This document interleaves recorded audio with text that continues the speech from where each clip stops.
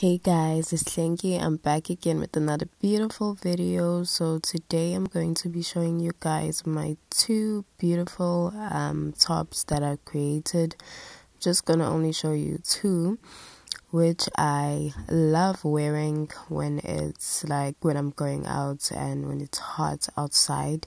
So Okay, let's get to the video. So this is my first um top.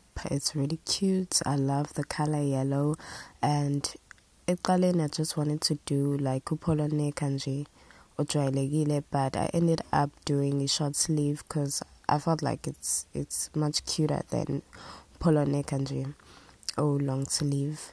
So I'm in love with this top. It's not long. Ngiyawathanda ama-top amafishane nje azoveza ifika yami. uh, you can wear it with anything, with jeans, with the skate. Um, yeah. Okay, let's get to top number two. So this one, it was originally a dress, but I ended up cutting it and making it a top because um, it's giving me that sporty like vibes and I like it.